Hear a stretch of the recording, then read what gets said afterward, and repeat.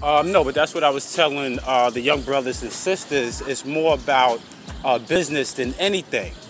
Uh, a lot of these YouTubers, uh, they're getting pimped and they're getting used against each other because they're not going into it with a business aspect. It's personal for these guys. A lot of them uh, want to be stars. They want to be ghetto superstars. They want to be popular. And this is why they're frustrated because they're wasting a lot of their energy, their current, but they're not getting any currency.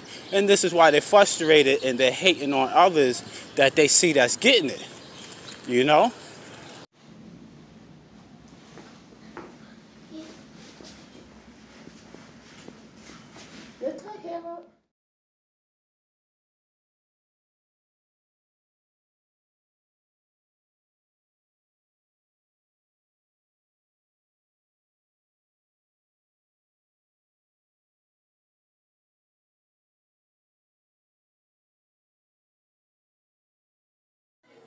Peace, peace. This is what's going on, man. I, um, I sell books, man. Make a good living off of it.